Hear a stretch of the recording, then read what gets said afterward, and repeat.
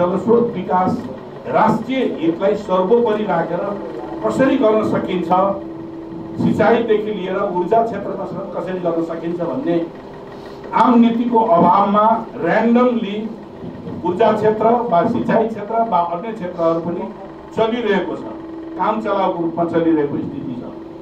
त्यसैले हामीले यही कुरालाई मध्यनजर गरेर एउटा जलस्रोतको एउटा सेक्टर जलविद्युत हो।